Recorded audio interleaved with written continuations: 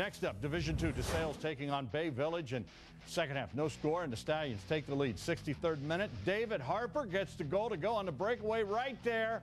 That made it 1 nothing Stallions, and that turns out to be the game winner as DeSales wins their fourth soccer title and their first since 1997, a 1 to nothing.